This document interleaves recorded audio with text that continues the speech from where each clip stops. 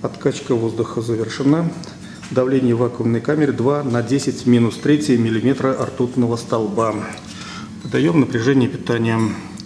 Как мы видим, между экранами и диском зазор остался прежним, то есть до проволочной рамки порядка 2 мм и до рамки из деревянных пластин порядка 3,5 мм.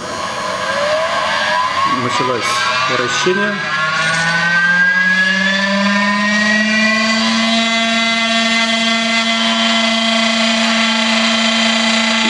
Началось отталкивание, то есть эффект по-прежнему имеет место.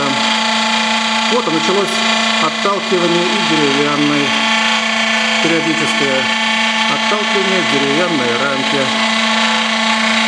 Обороты относительно небольшие, где-то порядка 6-7 тысяч оборотов в минуту. Так, временно отключаем питание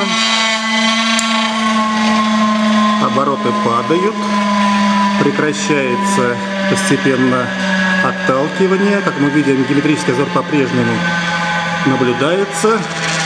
Повторно увеличиваем напряжение питания электродвигателей. Обороты растут, начался процесс отталкивания.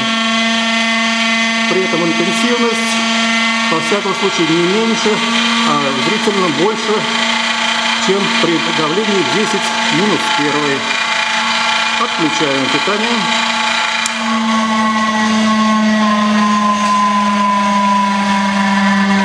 Обороты падают.